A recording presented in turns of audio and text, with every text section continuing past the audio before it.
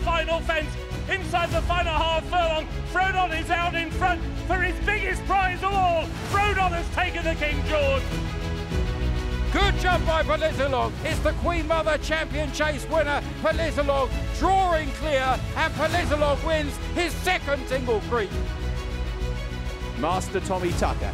Been so assured so far. Long at that puts down, and Harry Cobden sits tight.